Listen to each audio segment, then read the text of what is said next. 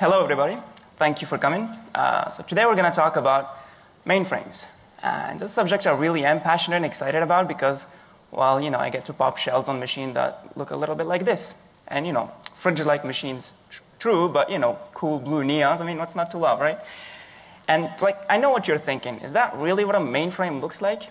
I think you're probably more used to pictures that look a li little bit like this or that, you know, like big old gray boxes, giant red tapes that nobody cares about, that you know, some people even call legacy.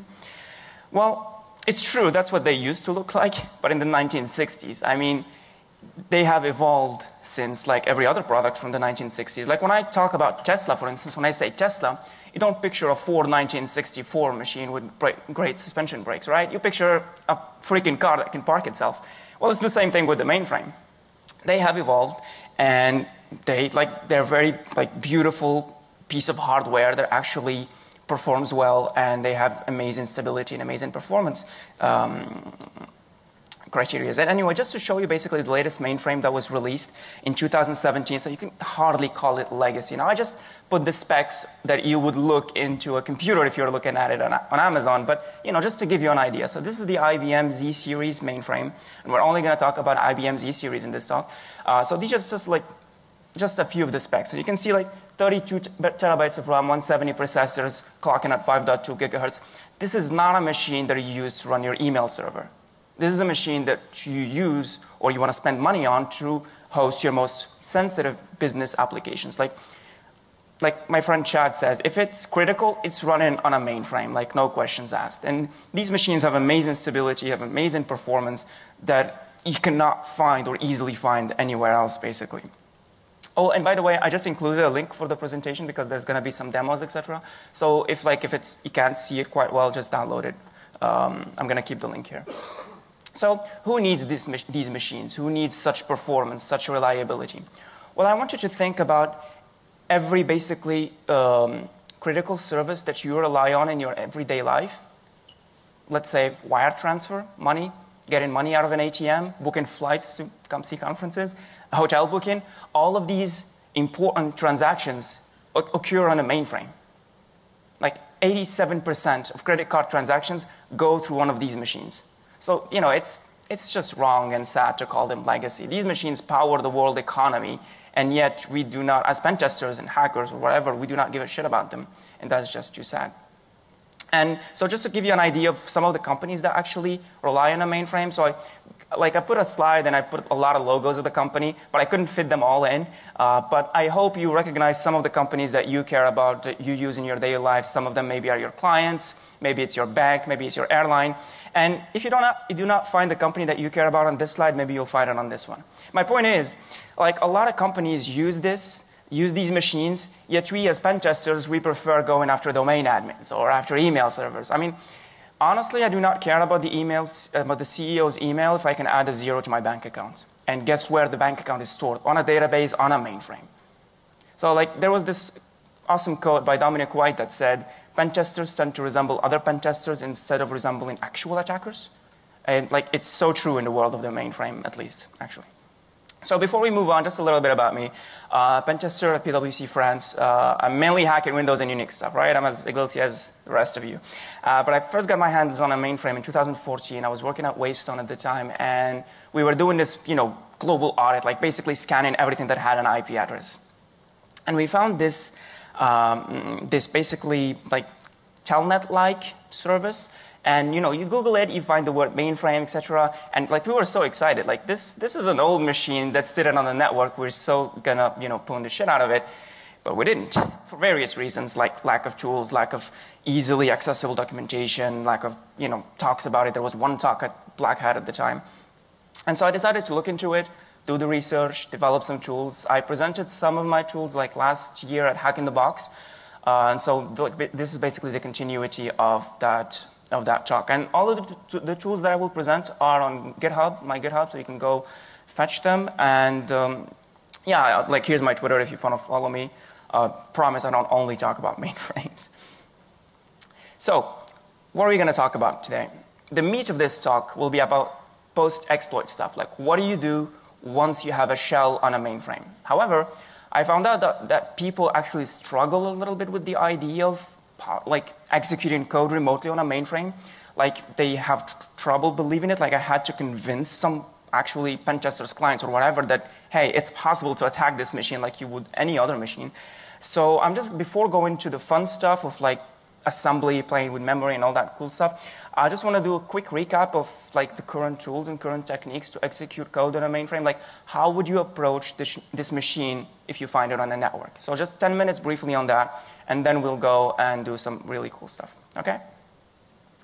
Brilliant. Now, uh, this machine, if you find it on a network, you want to communicate with it, it has an IP address. Um, you can find like HTTP, FTP, SSH, all the cool, normal, classic stuff because it basically has a Unix on it. Um, so yeah, uh, again, I'm only talking about IBM Z series. So the main protocol to communicate with this machine is called TN3270. Now TN3270 is nothing but a telnet rebrand. It's a rebranded telnet, that's it. Except that you will need a virtual emulator or you know the real one, the real terminal, uh, to basically download it and communicate with the machine. And it's just you know telnet with additional data streams, etc. So there's X3270, there's WC3270, there are other tools. You just download them, and then you can communicate with the mainframe.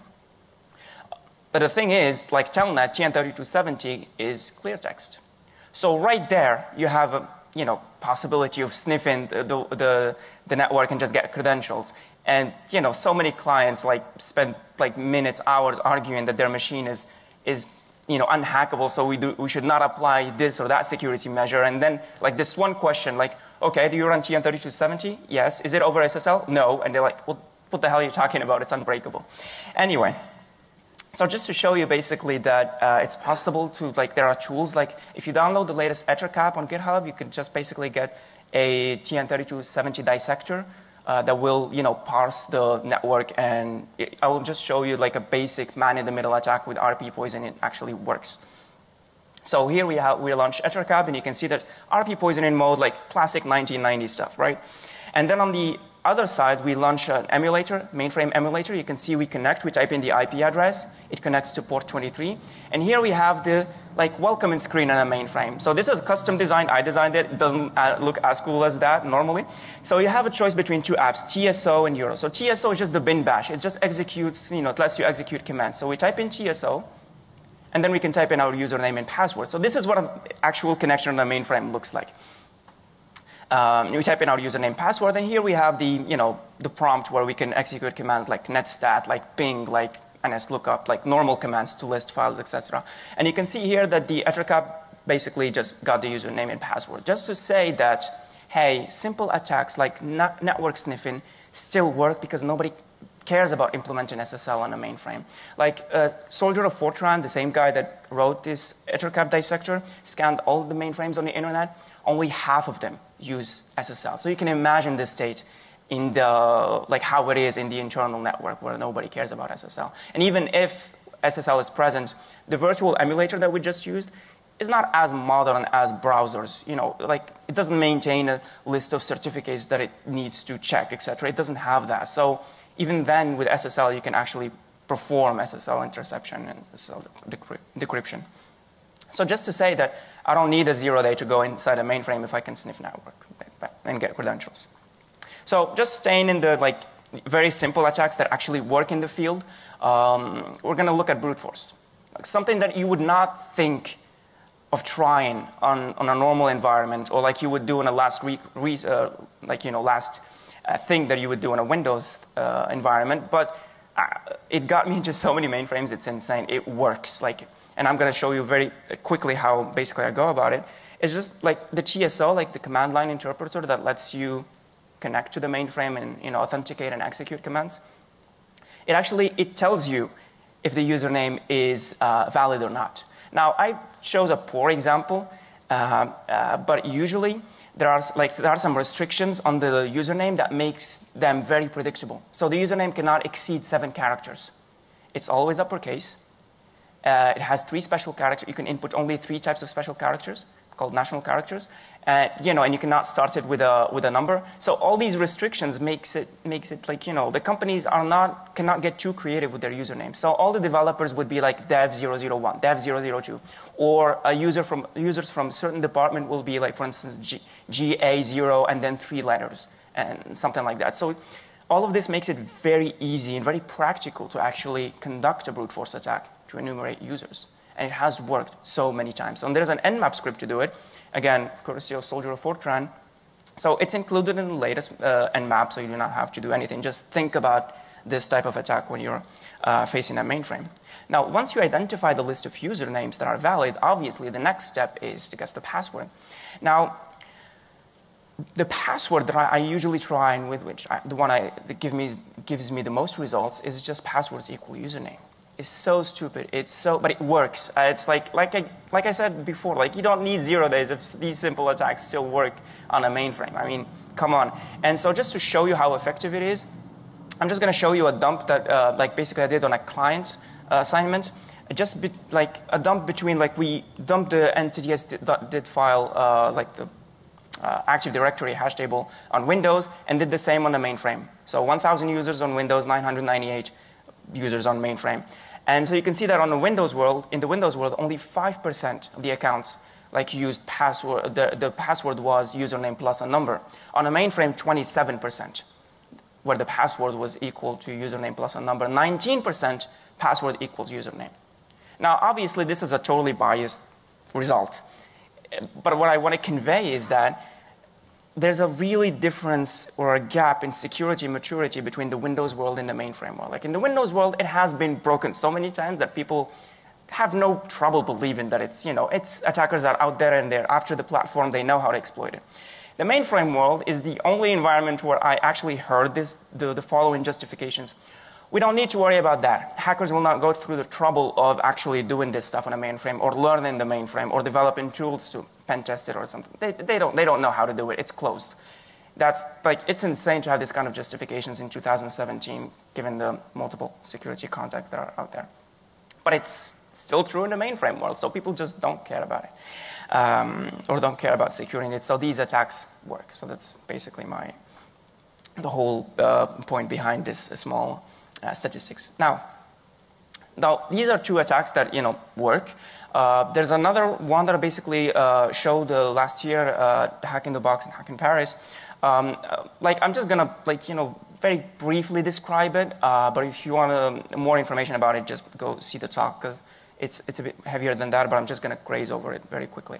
Now, if we come back to the main welcome and interface of a mainframe. So we had the choice between you know, TSO, the command line interpreter where we can execute commands, and Euro. Now, Euro is just a business app that's present on this mainframe. So think of it like when you go to your bank and your banking operator, like for instance, wants to get cust uh, customer information about your account or whatever like that, they may use uh, in-house developed app, right, over 30, TN3270. And it looks a little bit like this. So if you type in Euro here, you get this authentication form and like the banking operator authenticates itself and you know they, then they type in like your customer number to get information or to make a wire transfer or you know whatever.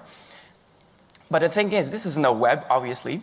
Um, like and what i found out is that almost all interactive applications that run on a mainframe run over tn3270 that are heavily used by um, on the mainframe world they run over same middleware or most of them run over the same middleware that's called CICS, Customer Information Control System.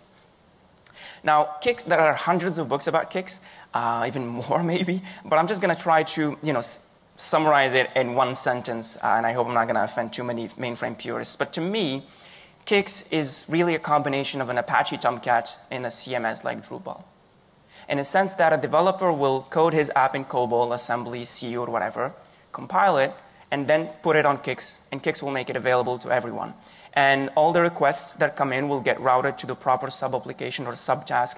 Um, uh, CICS will do like the memory handling, task uh, scheduling, uh, caching of files, uh, handling locks and resources on disk, etc. So it's like, it's really, it really is a middleware, except that it was developed in 1968, long before the web, hell, long before, like before even the internet.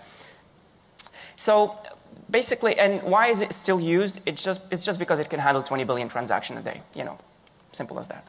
Uh, so it's very powerful. Uh, but the thing is, just like on Apache Tomcat, where one of the checks is to find the slash manager slash HTML to upload the web shell, um, well, the same thing or the same concept applies to Kix in the, in the, in the idea that, in the sense that the idea is to find a combination of keys. There's no you know, notion of an URL, URL. So the idea is to find a combination of keys to press to exit the app. And when we exit the app that's you know, available, Kix asks us, well, where do you want to go?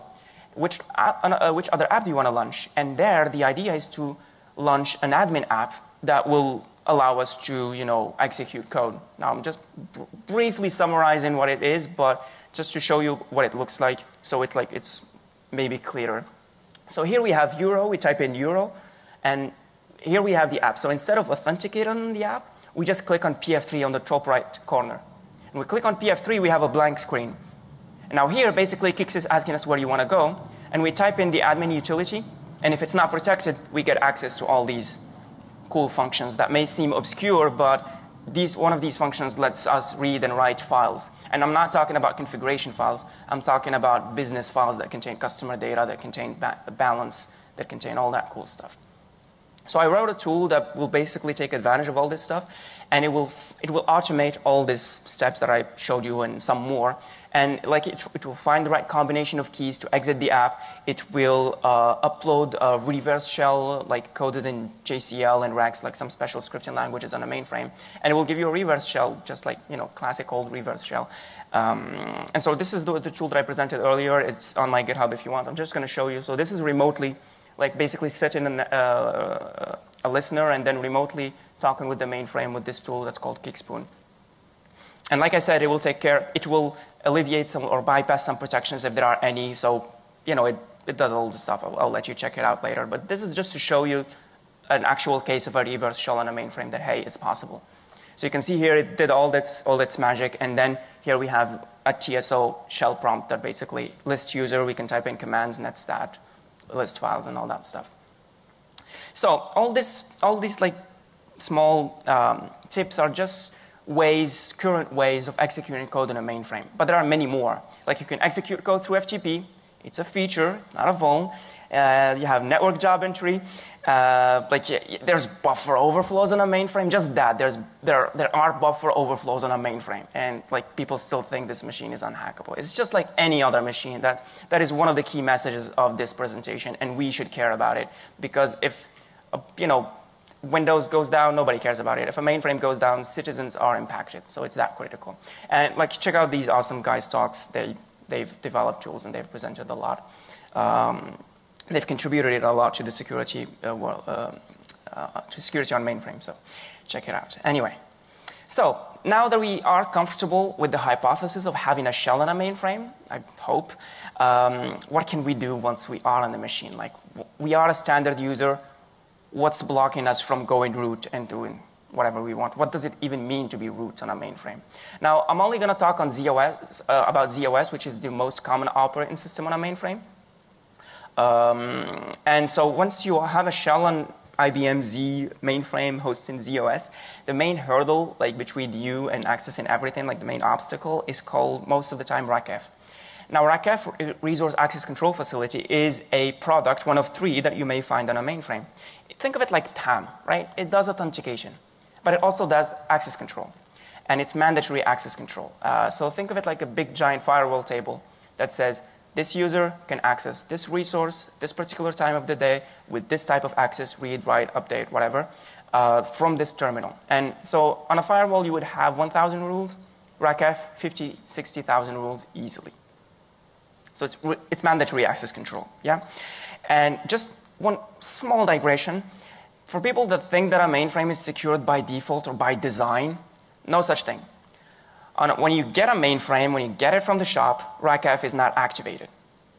So let me just, you know, let that sink in. You do not have access control enforced when you get your mainframe set up. In fact, one of the checks in any auditing guide is to actually verify that RACF is properly enforced in control, you know, it, in fail mode. So in, like by default, if you access something, Rackf will tell you. It will raise a security notice, but it will let you access that resource.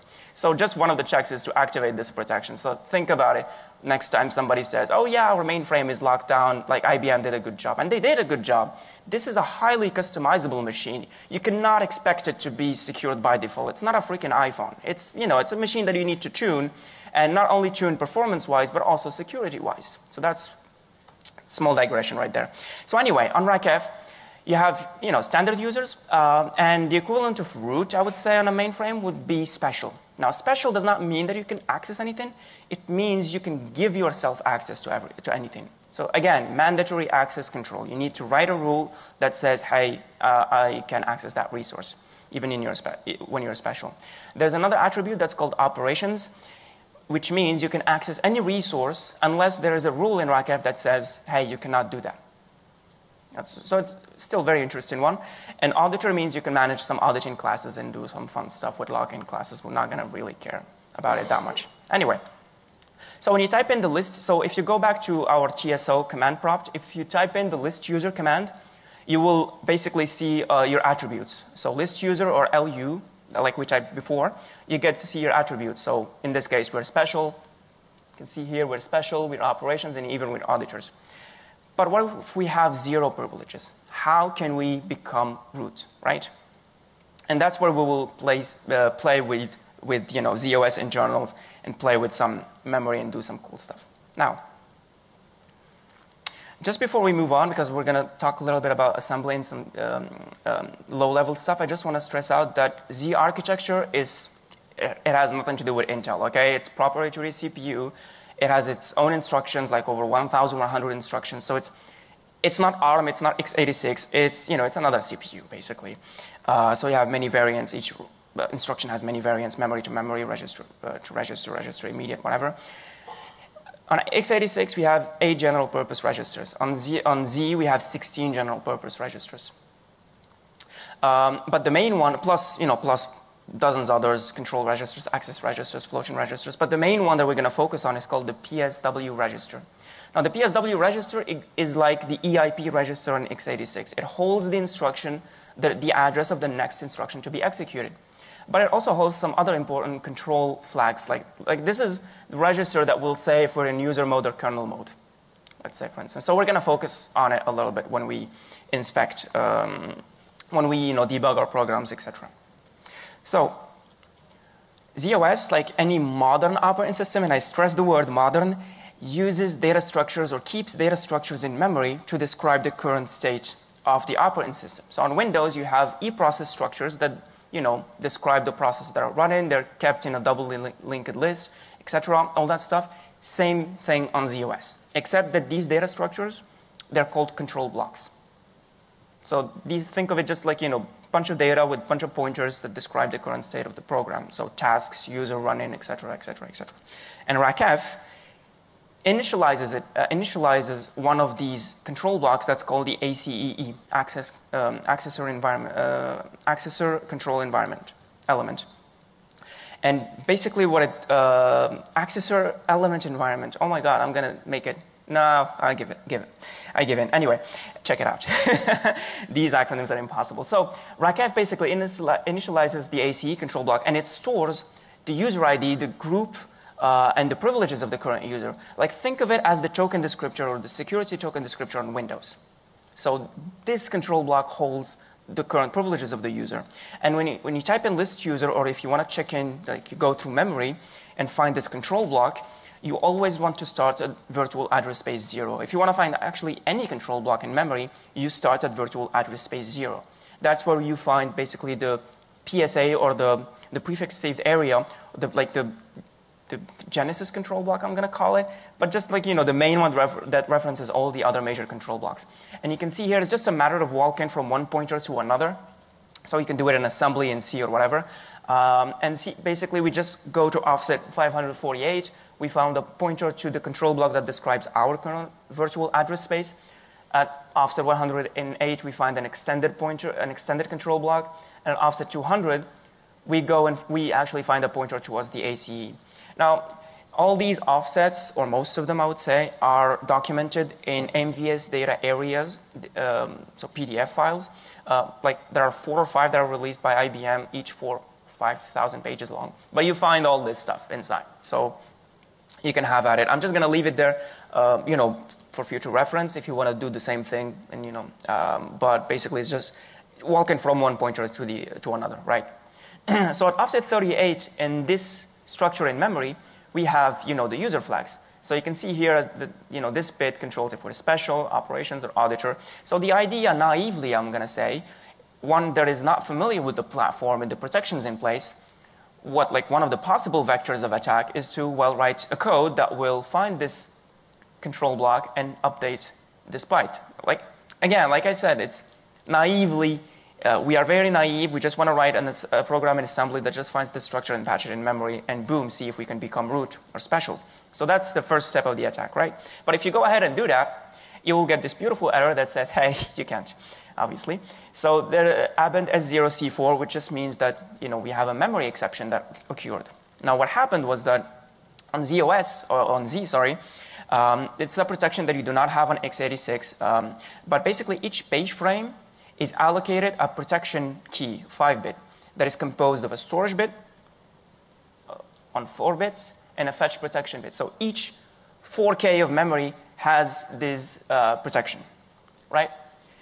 And let's just focus on the storage key. That's the main key. That's the main uh, important piece of information. So there are 16 possible values, obviously. So if a patch of memory has a storage key between 0 and 7, it means that patch of memory is allocated by system services. If that patch of memory has a storage key of 8, it means it has been allocated by users. If that uh, page frame has a storage key between 9 and 15, it means that patch of memory is real memory. There is no translation, you know, virtual address space translation, none of that. It's real memory you're dealing with. So you have other problems like process isolation and all that kind of stuff. So anyway, when a program accesses a patch of memory, uh, the current storage key in the PSW register gets compared with the storage key in memory. If they match, we have full access. If they don't match, then we get denied or we only get read access depending on this fetch protection bit. So if we go back to the error of our you know, simple program that was running, you can see that the PSW at the time of the error, the storage key was 8. You can see here. And that means that the, the ACE, the control block, is, was probably in a space that, well, had a storage key uh, different than 8. Actually, it's a storage key of zero. So here I just mapped all the possible outcomes. So if the PSW key you have is zero, you can access anything in memory. So full read write. If it's not zero and the storage keys match, yeah, full access. If they don't match but the fetch protection bit is on, it's none, no access. If the fetch protection bit is off, you only have read access. So the ACE falls in this category. So the storage key is zero, but there is no fetch protection bit. So we can read it, but we cannot update it right? So now the attack plot evolves, and now the before patch in the ACE in memory, where the privileges are held, we need to switch the storage key in the PSW register. Now there's an instruction to do it in assembly that's called the modset macro. Um, however, this instruction, like all other powerful instructions, are only available in kernel mode or what is called supervisor state. So on Z, or ZOS basically, supervisor state equals the kernel mode on Intel. Uh, problem state, it's user mode, right? Um, so some instructions are only available in supervisor state. So the question now becomes, how do we get into supervisor state? Now on Linux, let's say, if you want to go into, into kernel mode, you just write your program, compile it as a loadable kernel, and then use insmod or modprob or whatever. On ZOS, it's very different. On ZOS, you have some kernel folders that, that are called APF libraries. And any program that is dropped in these folders can go into kernel mode, no questions asked. So let me stress that again. You have kernel folders like 60, 100, whatever. Um, they can be custom defined. Uh, most of them are. Um, you have no way of easily listing them on a mainframe except if you're running the ZOS 2.1 uh, which introduced uh, an instruction to a command to list APF libraries. But you have no way to easily, except from going through memory, that's what we're going to do basically. Um, and, you know, you have these folders, and one of them is not protected, and in fact, many of them are not protected, like almost all, like not almost all the assignments, but a lot of the, of the assignments that I had actually, we found these APF libraries that were not protected, and the client went, well, who cares? Like, who can, can you show me what it can do with it? And I'm like, well, that was like years ago. And I was like, well, theoretically, it is possible to code a program in assembly that will do, blah, blah, blah. and he's like, yeah, shut up, go ahead. Like, I'm, I do not want to hear about it. And that's, you know, people believe that this knowledge is so out of reach, but in fact, it's not. And, you know, I'm going to show you later on the program that will explore all of this. You will see it's very trivial.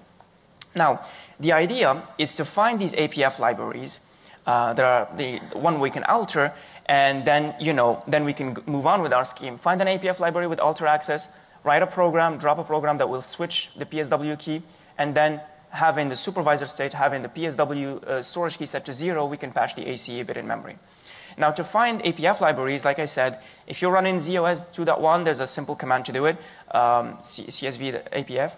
But if you run in like other versions, uh, you have to go through memory. And to find them, now I'm not going to detail the scheme, but it's just basically just going from one pointer to another. It's as easy as that. Uh, so I'm just going to leave it there for reference. But I wrote a tool that will do all of this automatically, so you do not have to worry about it. But I'll just leave it to be exhaustive. And you know, once we found all the APF libraries, we just check which access we have on them. And the program that we're going to drop uh, inside one of these folders uh, is, it looks a little bit like this. Now, I do not expect everyone to know like Z architecture assembly, but I, I just want to go quickly, very quickly through the program to show you that it's not magical, that it's not too complicated, but it's not really actually complicated. So we have the first section that says, hey, our program runs in 31-bit, right? We have the program prologue where we save some registers, and then we say our stack register will be register number 12, because there's no set uh, or defined stack register. You have to define it every time. And then we call the modset macro. We switch the keys to zero. We go to supervisor state. And then it's just a matter of loading different offsets into register to, until we find the ACE, right? And then we just uh, you know, execute an immediate OR to flip the pro proper bytes at offset um, 26 and 27. So that's it, basically. This is the program that will make us root on the mainframe. We just need to find an API libraries where we, library where we drop it so it can run into kernel mode. That's it, basically. So just to show you how simple it is.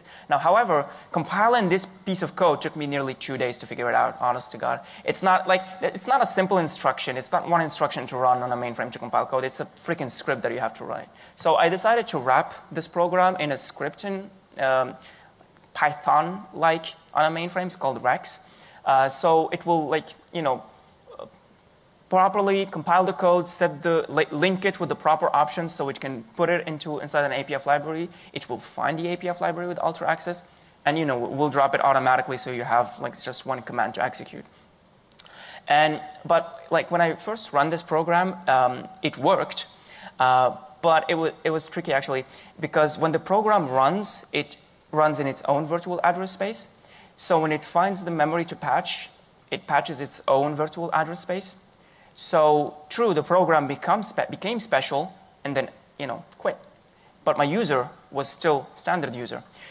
Um, so, you know, there's this separation, virtual address separation. So I had to add this small instruction at the end that says to the program, hey, when you're special, well, add a rackf rule that says that user, me, is also special.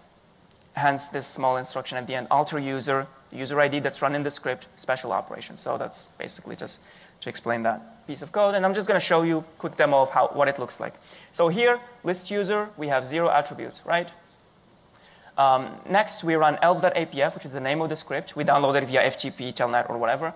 Um, and then we list all the APF libraries. So here, sys1.linklib, sys1.svclib, these are folders that we can write to, basically, because we no rackf profile is defined. This is obviously just a test system, right? Um, so all these folders are writable, and we can uh, drop a program in, inside of them. So you can see here, we choose one arbitrarily. The, the script will compile the program. There was no error. Um, uh, and you can see that now we became special. It's as easy as that. Now, what I did was just weaponize something that obviously a lot of people were aware of. Like everybody from IBM to any auditor will tell you, hey, APF libraries, you need to protect them. But, like I said, people are very stubborn and like you know proof of concept or get the fuck out. Uh, and that's the real attitude of people. Like that's how they assess risk. If you know there is no immediate or known threat they will not address it. So what i did was basically just weaponize it and makes it like easy for any pen tester who's facing a mainframe to download the script, put it on the mainframe, and boom, they're, they're root on the mainframe. So you do not have to go through the trouble of, you know, all like digging into this stuff like I did just to know how to compile a freaking assembly code of 12 lines. So, like I said, a lot of people were aware of this, like APF library is very dangerous, you have to protect them, blah, blah, blah, blah. And um, like Mark Wilson from RSM Partners discussed something similar, uh, but using SVC. Now, SVC are supervisor calls, and just like on Linux or Windows, you have like, you know, on Linux you have syscalls that go into kernel mode and, you know, they do some fancy dangerous stuff and they bring you the result in user mode. Same thing on ZOS, but these are called supervisor calls. So these are just API functions that go into kernel mode, do something very uh, deep, low level, and then come back. And now on, you have a table basically of uh, 255 SVCs available. So from 0 to 200, these functions are IBM reserved, and 201 to 205 can be user defined. So like basically uh, Mark Wilson talked about some admins, some vendors that they like that, that, register some SVC on the mainframe, some syscalls on the mainframe, that when they go into kernel mode, they make the whole program calling them go into kernel mode. Now this, this is very dangerous stuff, and I'm just going to show you what, what it might look like. Uh, so like they are dubbed magic SVCs. Um, again, I do not care much about the code. I just I'm just going to show it like there just to give you an example of what it looks like. What I want you to focus on is that there is not a single piece of authentication or access control in that code. Nothing. So, and by definition, everybody can call an SVC, right? That's what they're for. Um, and so, if you like, if you want to apply the same trick that we did earlier, you do not need APF libraries now. You just need this SVC that we like say it's SVC number 233. You just call it in your assembly, and then boom, you can call the modset macro and go into kernel mode. So you do not need APF libraries anymore to achieve your privilege escalation. Now, I wrote, like, I wrote this as a proof of concept to kind of learn about, more about SVC. So I wrote a script that will list all the SVCs in memory. Again, it's just a matter of walking from one control block to another. Just one pointer to another. And it will basically check for some instructions that will, um, how to say, that are suspicious, that play with that piece of memory that controls whether we are in supervisor state or not. And so I focused on these two instructions. Obviously, this is not bulletproof, but it's just a proof of concept. Um, so I focused on this first instruction that loads offset 540, which corresponds to the control, control block describing the current task that is running. And this second instruction that flips a certain byte at an offset 236 in memory. So I just decided to write a small regex like in Python Rex, not Python, uh, to find all the SVCs in memory and check whether or not they perform these fishy operations. And I'm just going to show you what the script look like, looks like. So here we execute elf.svc, and you can see that we, uh, we type in list, and you can see, uh, list all the SVCs that are running. And you can see that, and it inspects the code looking for an off bit. So SVC 233, off bit was detected, and it dumps the upcode of the SVC. Um, and you can see here that we are, obviously we have no attributes. Um, and when we run, rerun the program and specify this time the SVC, it will again compile the program, uh, drop, it, uh, drop it into any folder. We do not need APF libraries anymore. And it will go into kernel mode and patch that ACE bit and make us special. So that's what it did here. Now, when I first coded this, I just wanted to keep it for myself. I was like, eh, who's going to you know, use it in the wild? I mean, have a magic SVC, magic syscall that lets anybody go into kernel mode, like, eh, who's going to do that? And then I was talking with Soldier of Fortran, um, and we were talking about this, these privilege escalation possibilities, techniques, etc. And then, like, at some point, we talked about elf.svc, so this script that I showed you, and he exactly said, dude, I need to show you something. And he showed me this script that he, basically there was a mainframe breach in um, Sweden in 2012 and he was involved in investigation, so he got access to some scripts, uh, involved in a good way, not in a bad way, by the way. Anyway, so he sent me this script uh, that is, well, it's on his GitHub anyway, and you can see here that it, this is a script that the attacker used. Now, I think you will now be familiar with some of these instructions. So you can see that the attacker basically called an SVC 242, 40, yeah, called the modset macro exactly like we did, and then flipped some you know, bytes in memory that are related to the ACE flag, ACE special operations, etc. It's exactly what I just showed you. So this, just to say again that this is, you know, this is real stuff that works in the wild, and I was very surprised to actually know about this script, and I was, wow, holy, holy crap. Anyway, and this further, you know, proves my point of the difference between the security maturity in the uh, Windows world or Linux world and the mainframe world. People in the mainframe world still think they can get away with security by obscurity. A lot of people think they can get away with it. Well, you know, we know it's not true, um, obviously. Every time you, like, there's this awesome code that says every time you think nobody will go through the trouble of doing something, some kid in Finland goes through the trouble. Well, this is basically the same thing. Now, kidding aside, like, like when you think about like the logic of how these scripts that I wrote operate, they go into kernel mode, they go into, they become special, and then they alter the RACF table to make the user who called them special. I did not, it was not very OPSEC, you know, proof. I did not like it that much because A, we write something into the RACF table. I did not like altering the RACF database. And second, in the field, you can be special all you want. Doesn't mean you can access anything. It means you can give yourself access to anything, to, to something. And figuring out which resource you need to access to in order to, you know, get rid of business, get business files and all that stuff is hard on a mainframe. Like doing stuff on RACF, manipulating RACF is very hardcore stuff. Like some companies have a dedicated RACF administrator to do this stuff, and you come in as a pen tester and try to mess up the rules to access this business app, it's hell. So it kind of troubled me a lot because I wanted to get some business data. I wanted, you know, to really get something out of the mainframe, not just show that it can be, it can be root.